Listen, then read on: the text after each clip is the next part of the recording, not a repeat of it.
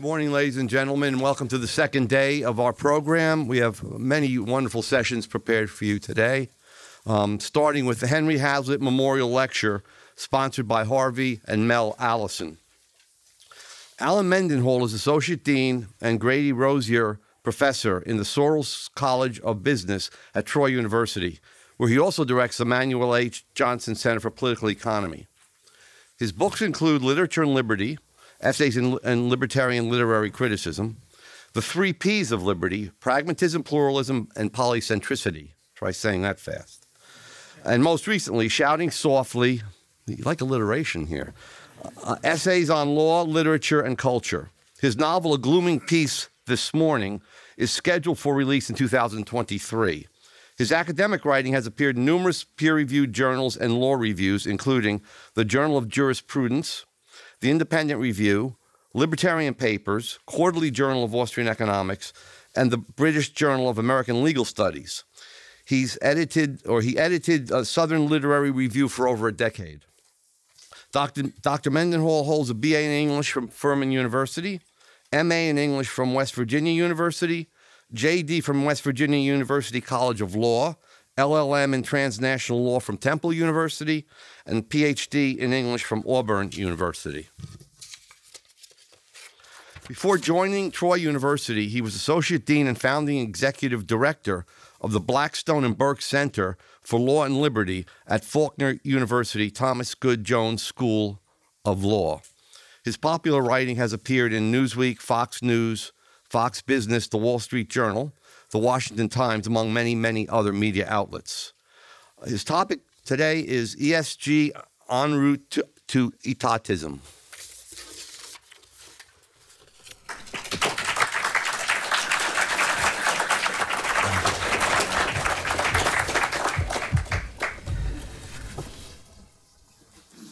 Well, thank you, Dr. Salerno. I remember being a graduate student at Auburn and seeing all the different luminaries who would come up to the mic at Mises Institute events and being somewhat in awe of those people. And so it's an honor to be here.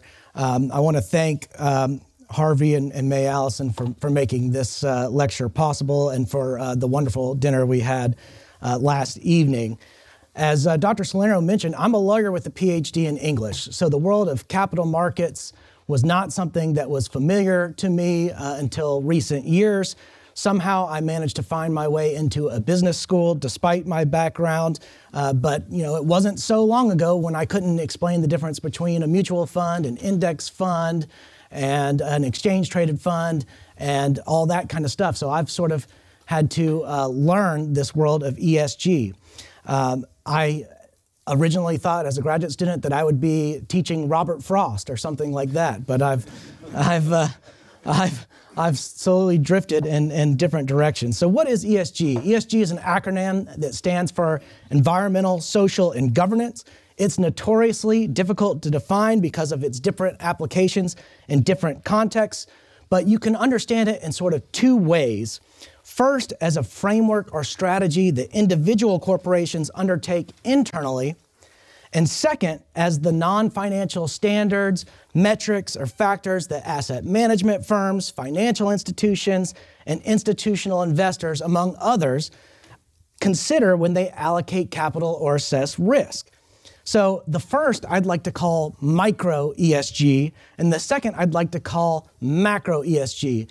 These are not the official nomenclature, these are just uh, terms that I think help us ease understanding. So, macro ESG consists of governments, central banks, NGOs, asset management firms, finance ministries, financial institutions, sovereign wealth funds, and a global consortium of institutional investors that collaborate to operationalize ESG at the micro level among different private companies, in particular publicly traded companies. So the combined entities comprising macro ESG exert enormous pressure on the private sector. And these entities uh, manage assets and financial instru- instruments from currency and, and loans to stocks and bonds. So they sort of control capital flow throughout the world. Everybody and every company seeks to bank and seeks to invest. So we're talking about the control of investment and uh, banking. Macro ESG involves the use of finance to exert pressures on companies at the micro level to institute ESG. And micro ESG consists of numerous corporations from all industries responding to major incentives and changes at the macro level. Both forms of ESG, micro and macro, attempt to repurpose corporations uh, according to alleged social obligations rather than profit maximization. So, ESG sort of began in this 2004. The first sort of clear articulation of it was in 2004. There was a conference called Who Cares Wins, sponsored by the United Nations, the International Finance Corporation, which is an arm of the World Bank, and Switzerland's Federal Department of Foreign Affairs.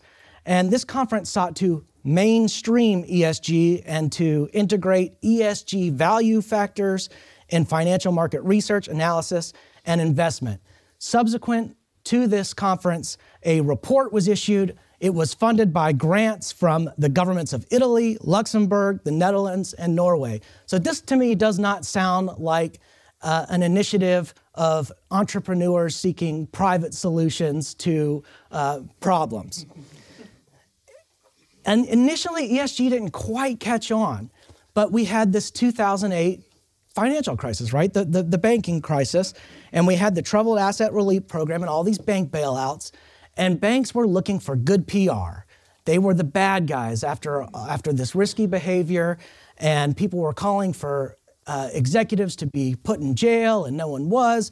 And so ESG became a really convenient PR technique for these financial services institutions there was this perception that absent shareholders, shareholders that didn't engage in sufficient oversight or engagement with corporate boards and governance, contributed to this financial crisis. And so, after the financial crisis, you see a lot of foreign governments coming up with stewardship regulations.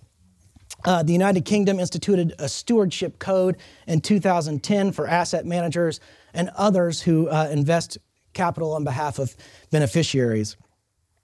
So, ESG constraints on investments, they're not moral, they're not good. There's little verifiable data showing that they accomplish the goals they purport to pursue. Their alleged benefits to society are immeasurable, and they may not be effective at all, except at excluding certain political and religious views from corporate culture. Nor do they steward money according to traditional principles of fiduciary duty.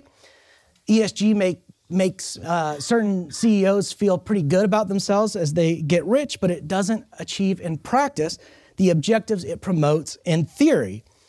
Economics shows us that the private public distinction collapses as powerful corporations, lobbyists, and special interest groups wield the apparatus of government in the name of ESG to gain competitive advantages through laws and regulations because corporations seek subsidies and privileges, tax breaks and incentives, barriers to entry, and all the rest, they will continue to advocate new government ESG regulations to dominate an industry or reduce competition. Meanwhile, the government's going to try to pick winners and losers, favoring certain industries or companies over others, certain industries that are ESG friendly over others. So the E is pretty easy. Environmental. What are we talking about here? Factors like greenhouse gas emissions, conservation, biodiversity, water consumption, solar power, climate change disclosures. The S, we're talking about social causes, whether they're uh, um, whether they're uh, pro-abortion policies, uh, LGBTQ rights, diversity, equity, inclusion, transgenderism, critical race theory, Black Lives Matter, and the G, we're talking about this shift principally from, uh, from the shareholder to stakeholder model. Um, the governance piece of it has some things that are actually not so bad. Like we think it's okay for corporations to have more transparency and things like that. But really, what this is about is the shift from the shareholder to the stakeholder model. Milton Friedman wrote a famous essay in the 70s in the New York Times about how the purpose of corporations is chiefly to maximize profits for shareholders, and that if corporations maximize profits for shareholders, they indirectly benefit society writ large. And that's how corporations uh, do good. They don't need all these other social causes. Uh, the Business Roundtable, uh, which my friend Scott Shepard refers to as a lunch club for CEOs, in uh, 2019 uh, came up with a, a, new definition for corporations where they sort of tried to uh, repurpose corporations to uh, align them with social good and vague terms like societal impact. Well, what is a, a, stakeholder versus a shareholder? Well, some stakeholders, it's easy to say, well, your customers, your employees, uh, your suppliers, those are, those are stakeholders that are easy to identify. But what people are now trying to define as stakeholders is society writ large or the public interest. These terms are vague enough that they give executives a lot of wiggle room to get away with bad behavior. For example, if you're if, if the purpose of your corporation is to maximize profits for shareholders, well, it's pretty easy to see whether you're doing a good job at the end of the year. It's a matter of accounting. You look and see, well, did we did our revenues exceed our expenses? Yes. Oh, great. We're doing we're doing the right thing. But if your purpose is to maximize social well-being, how do you measure that? You can't measure that. So corporations that may not be doing as well can then say, well, you know, our profits were down this year, but uh, we instituted diversity quotas in our uh, executive board. We have new, uh, we have new um, board members who represent all types of uh, ethnic diversity, and so we're accomplishing our goals. But if you think about it, what does it mean? It's sort of a, a, a shift in power from the stockholders, from the owners of the company, to these managers, because if you're talking about stakeholders being in control of the company, who's who's going to set your board meetings and who's going to determine what the agenda for a board meeting is if it's some vague society thing? I mean it doesn't even it doesn't even really make a lot of sense. But that's a that's chiefly what this uh, g prong of esg is about is the shift from um, from uh, shareholder to stakeholder. So i want to talk about asset management firms because they are central to this narrative of esg about a third of the private wealth in the world is in investment management. We're talking about the, uh, the few hundred largest asset management firms having uh, assets under man- management that exceed well over $100 trillion. The big three are BlackRock, State Street, and Vanguard, and they together have over $20 trillion of assets under management.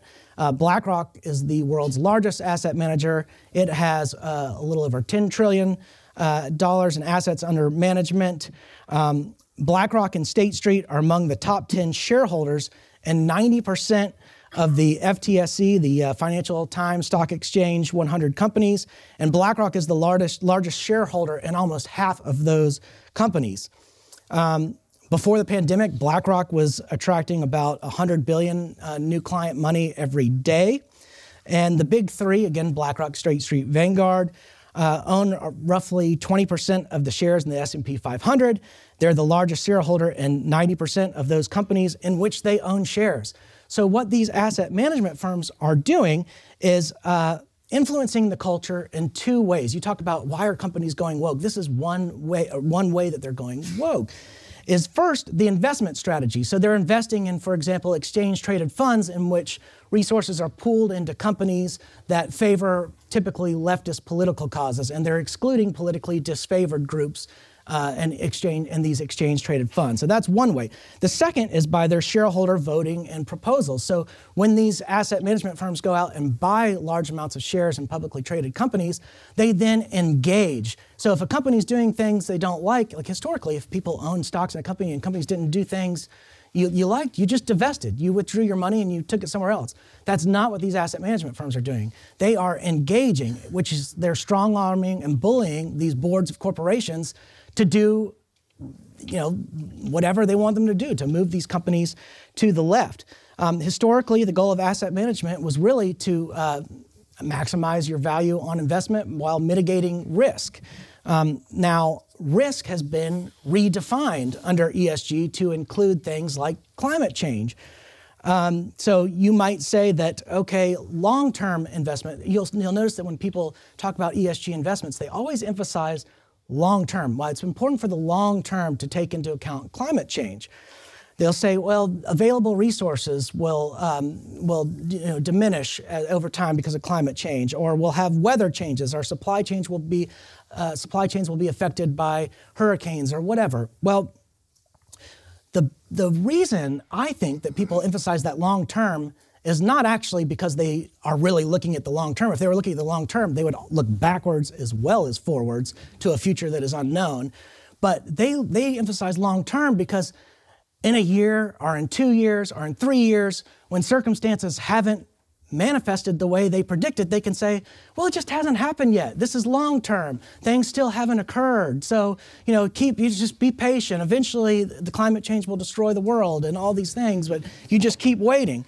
Uh, the other thing is these uh, asset management firms emphasize uh, regulatory risk. And they'll say, well, there's all this potential regulatory risk involving climate change that will be coming down the pipeline. Meanwhile, they're lobbying for regulations. So it's a self fulfilling prophecy. They're like, watch out for these regulations that might come away. And by the way, we're paying all these people to try to get these regulations in place. Um, now, there was a study published by uh, researchers at Columbia University and London School of Economics, not exactly uh, home for uh, a lot of great free market thinking, but they found that these ESG portfolios had uh, companies that had really terrible track records with the environment. Um, and that these, these companies, you know, this is from kind of a leftist perspective. These companies don't treat their employees well. They're, they're environmentally bad companies and all these kinds of things. And uh, that's just sort of interesting because on the investment side, these asset management firms are assuring investors that these are the, the best companies there are. Um, ESG ratings are uh, these they're private ratings agencies out there, and some of them employ artificial intelligence. And what they do is they they issue scores for publicly traded companies, ESG scores, and they'll say, you know, uh, typically they're in quartiles. Like if you're zero to 25, you're um, not doing very well. If you're, you know, 50 to 75, you're okay. If you're 75 to 100, you're great.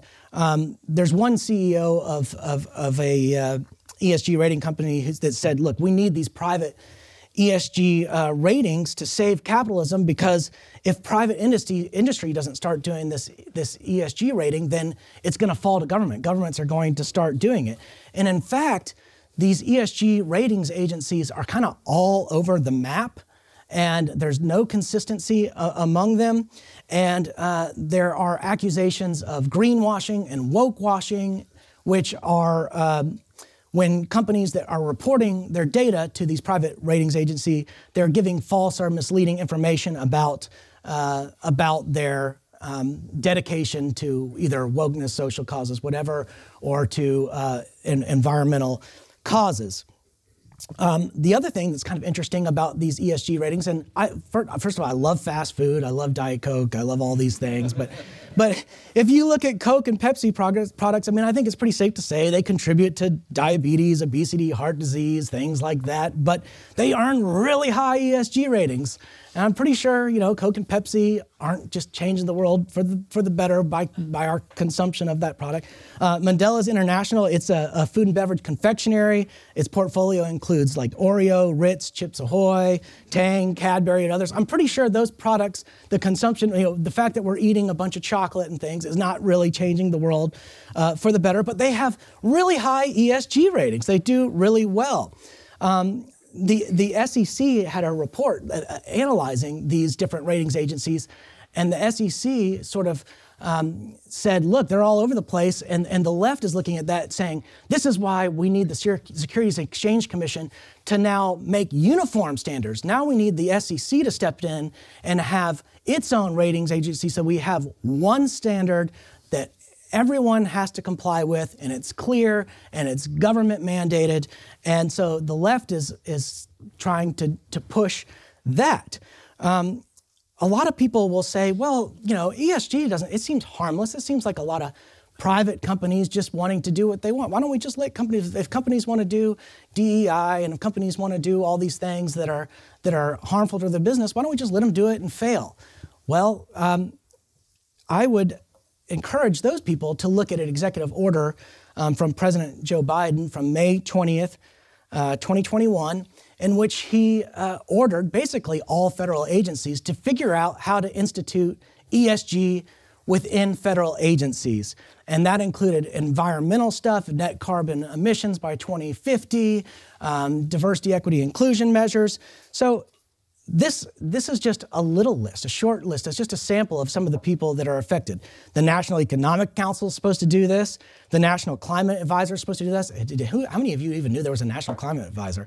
Uh, the Secretary the Secretary of the Treasury, the Department of the Treasury, the Chair of Financial Stability Oversight Council, the Federal Reserve Board, the Securities Exchange Commission, the Commodities Futures Trading Commission, the Federal Insurance Office, the Secretary of Labor and the Department of Labor, the Federal Retirement Thrift Investment Board, the Secretary of Agriculture and the Department of Agriculture, the Secretary of Housing and Urban Development and HUD, uh, the Secretary of Veterans Affairs and uh, Department of Veterans Affairs, the Federal uh, Acquisition Regulatory Council, the Office of Management and Budget. All these different federal agencies are directed under this executive order to figure out how to institute ESG.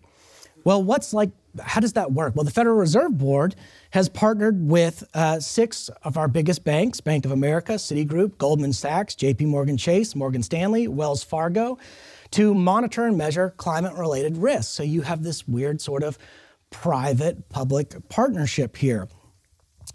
And uh, why, why would the president seek to institute these to encode these elite preferences in federal agencies? Well, we all know that traditionally government was supposed to be you know three branches in the United States. You had your executive, your legislative, and your judicial branch. But we have this thing called the administrative state that has sort of arisen as a fourth branch of government. And within it, it has three branches of government that are unaccountable to our legislative processes, right? These administrative agencies have administrative law judges. They're your judicial branch. They promulgate rules and regulations. There's your, there's your legislative branch. And they have executive agency heads. There's your executive branch. And those, those executive heads enforce the laws. So you've got an entire administrative state that's rising up that has as much power as the other three branches combined. And there's no accountability. So if you can encode elite preferences into that, if you can start instituting ESG into the administrative state, well, then it's embedded in the system and it's here to stay. Um, what's so interesting about ESG is if we already have a Clean Air Act, a Clean Water Act, Title VII, Title IX the Civil Rights Act, the Sarbanes-Oxley, Dodd-Frank, Wall Street Reform, Consumer Protection Act, you name it. We got all these things. And banks already require hurricane and flood insurance and other forms of insurance related to weather. Why is all this other stuff necessary? You really shouldn't need all this stuff being embedded in federal agencies. Well, it's being embedded in federal agencies because they want that power. This is really concentrating the power uh, in a few select banks, a few select asset management firms that are basically revolving doors. You can look at BlackRock and see the executives that jump out of BlackRock into the Biden administration and jump back in. Um, it's very, uh, very nefarious. Now, um, another way that you're seeing uh, ESG being instituted is through this phenomenon called uh, debanking. So you may have heard people uh, saying that uh, one day you may go to the bank and the bank, you may be seeking a loan, and the bank may say, Well, what's your ESG rating? And, uh, and you say, Well, I don't, I don't have an ESG rating. You know, I'm a family owned company. Like, well, sorry, you know, your ESG rating isn't, doesn't qualify you for a loan with us. You have to go somewhere else. And some people think that this is just a scare tactic. The left will say, oh, that's just a scare tactic. That's not something that's actually going to happen. Well, go ask a Canadian trucker what he thinks about this. Um, and we have examples of this stuff happening here in the United States. JP Morgan Chase closed the account of the National Committee for Religious Freedom. Chase Bank terminated the accounts of, uh, of some of activists and some Proud Boys members. And whatever you think about those groups, you know, you can say it's probably not going to stop there. It's going to continue to spread as the uh, definition of whatever, whatever is politically undesirable expands. Uh, the Bank of America refuses to fund some oil and, and gas companies. Uh, Citibank has restricted credit for gun manufacturers, JP Morgan Chase, Citigroup, Bank of America, Wells Fargo. They've taken measures to undermine the firearms industry, which we all know the firearms industry is fiscally responsible and creditworthy. And it's like the most heavily regulated industry already. But nevertheless, Visa, MasterCard, American Express, they've created new merchant category codes for firearms uh, gun shop sales so they're no longer in the general merchandise. They're now going to be have their own category so that people can track uh, who is buying and selling guns. Um, PayPal has closed the accounts of individuals associated with the January 6th Capitol riot, as well as uh, groups that the Southern Poverty Law Center deems hateful. The Alliance Defending Freedom, for example, is somebody that has been targeted by PayPal. So the trend is to characterize uh, debanking as eliminating risk as financial, financial institutions purport to disassociate from groups or ideas that could harm their reputation. But it's actually far more uh, nefarious than this. Now, you'll see a lot of big companies, uh, big banks, asset management firms, but also a, a, lot of big publicly traded companies coming out and supporting ESG. Why would big business support ESG government mandates? Why would they say, yeah, we actually think we should have these SEC regs, we should have these new Department of Labor regs, we should have all these things? Well, the first reason is that small businesses can't afford to comply with complex ESG regulations. It's costly. Large corporations can absorb the cost of ESG regulation while gaining advantages over smaller competitors and local business that can't afford regulatory compliance. Uh, the wealthier the, the business, the more it can lobby politicians, capturing rents and legalizing anti competitive measures. And in this way, corporate executives reap gains for their companies at the expense of wider society. Um, the another reason is that uh, the threat of government coercion incentivizes businesses to support positions that are otherwise against their interests. So, although ESG would not make them better off, businesses might embrace or pursue it if the consequences of noncompliance with government mandates or regulation would make them even worse off. So, in other words, government distorts incentives for business um, for businesses anticipating future regulations or complying with current regulations. Another reason why big businesses may support this is that ESG has empowered special interest groups, uh, namely among doctors and lawyers, who have developed a veritable cottage industry regarding compliance with new or potential regulatory uh, requirements. There's also an entire industry of high powered uh, consultants who some of them own stock in the very companies that they're, you know, they're advising, and uh, and they're making a lot of money on ESG. If you think about it, in a uh, competitive market, private companies that self-impose ESG regulations would fall behind their competitors uh, that remained apolitical and sought purely to maximize profits for shareholders because those companies would be alienating half the country. I mean, if you say that half the country is uh, you know, conservative socially and half the country's on the left socially or whatever, well, you would automatically be alienating half half the country. Well, so how do you make up for that? You have to uh, you have to um, basically get sy- systemic buy-in because if everybody starts buying into it and everybody starts valuing portfolios based on ESG, then all of a sudden you know, that becomes the system, and then it does contain value. So it, it, the more you can exclude the uh, anti-ESG crowd from capital markets, the more you can push people out, the more you can control the flow of capital through financial institutions, the more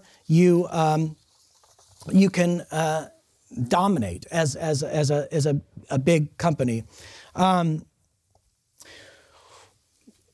one last uh, point about these asset management firms is uh, not only is there a, a problem with um, fiduciary duties, because what they're doing is, let's say in a, in a state, you've got state uh, retirement systems that are investing their pension money through asset management firms. So these asset management funds are getting very wealthy off state pension money. That's what they're investing. They're investing state pension money, they're investing university endowments. It's not just like high net worth individuals. They don't care about you know, even wealthy individuals, you're, that money's so insignificant. They're looking for these big institutional investors, and they're investing that money.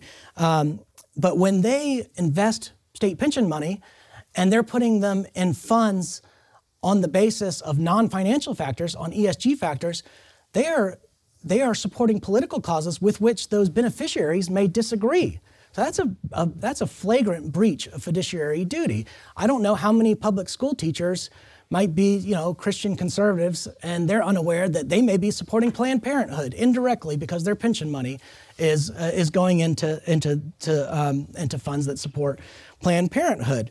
Um, also, these asset management firms, I mentioned that they own shares in all these publicly traded companies. Well, they sometimes own shares in competitors. And so they're getting proprietary information about different competitors and exercising their proxy voting power and pushing companies in one direction or other with all this insider knowledge about uh, the internal workings of these different companies, and that's a that's also a flagrant conflict of interest. So you've got all kinds of, of serious legal problems uh, with these uh, with these uh, entities. So I began with this uh, reference to Robert Frost. I joked about um, how I thought, you know, one day I would just probably be teaching Robert Frost. So I'll, I'll, I'll actually end improbably with, uh, with Robert Frost. So you, you have to picture the narrator of this poem. He's an old man, sort of an avuncular figure, maybe a white bearded man in the woods, and he's walking around somewhere in snowy New England and narrating this poem. And the poem goes like this. Whose woods these are, I think I know. His house is in the village, though. He will not see me stopping here to watch his woods fill up with snow. My little horse must think it queer to stop without a farmhouse near, between the woods and frozen lake, the darkest evening of the year. He gives his harness bells a shake to ask if there is some mistake. The only other sound's the sweep of easy wind and downy flake. The woods are lovely, dark, and deep, but I have promises to keep, and miles to go before I sleep, and miles to go before I sleep. It's a beautiful poem, but sometimes people like us in this room, we tend to despair, we tend to feel angst, we tend to think that we are stuck in the darkness, and sometimes it would just be easier to give up and withdraw and just stay in the woods, but we have miles to go before we sleep. Miles to go before we sleep. So let's get out there and kick some fanny and push back on this ESG stuff.